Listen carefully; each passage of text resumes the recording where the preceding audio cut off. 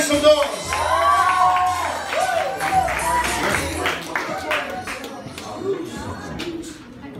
Hallelujah. Praise God. Hallelujah.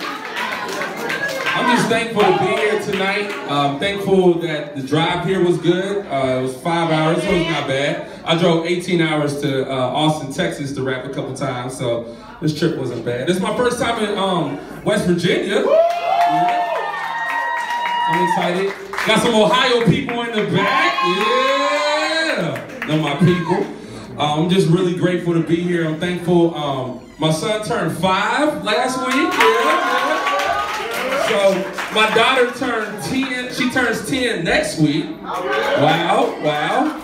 I have another son that turns seven next month. Yeah, yeah. So I'm setting this up. I'm saying you got to buy some of my CDs afterwards. Birthday parties. So, but for real, I'm thankful. Um, and um, I like to praise God like I'm in the stadium. Like I like to praise God. I don't want my praise for the Cincinnati Bengals to outweigh my praise for Jesus, if that makes sense. Okay? So I just need y'all. I'm gonna say I praise God like I'm in the stadium. Stadium. I praise God like I'm in the stadium. And this is where y'all come in. And I'm gonna say, so I call this stadium praise. And I need y'all to say, hey. Can y'all do that? Uh, so I call this stadium praise. Stadium praise. There we go. Hey, turn it up, turn it up. Let's go. I praise God like I'm in this band.